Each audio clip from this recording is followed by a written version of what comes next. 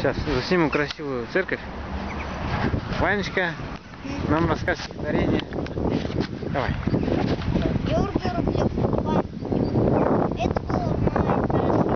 Нарастал у стены бой. Девочку немецкую заметил наш солдат на пыльном мостовой. У столба дрожа стояла, в голубых глазах расколышки, и куски светящего металла, смерть и муки сеяли вокруг. Тут он вспомнил, как прощаясь летом, он свою дочь поцеловал. Может быть, отец девчонки этой, дочь его роду расстрелял.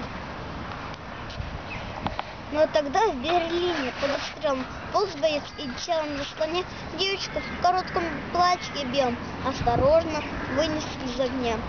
Скольким детям возвратили детство, возвратили, подарили радость и весну. Рядовые армии советской, люди, победившие войну. Ну, дальше я что не забыл. Вспоминай, вспоминай. Ну, забыл. Ну, вполне хорошо, нормально. Забыл, да? Нормально.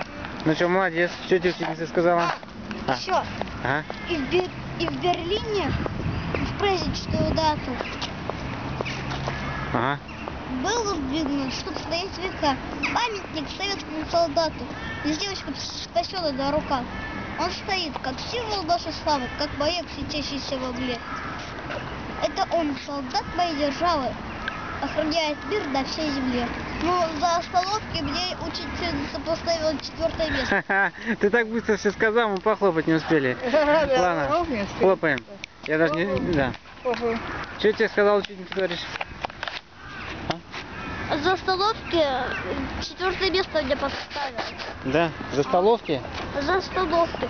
А И, за, и, А. и еще там баллы родители ставили. из-за остановки, о, расслышал, я понял. И ты знаешь, что мне ставили одна мама, мне, то есть одна какая-то женщина, мне поставила десятку. Надо же. А все остальные девятки и восьмерки.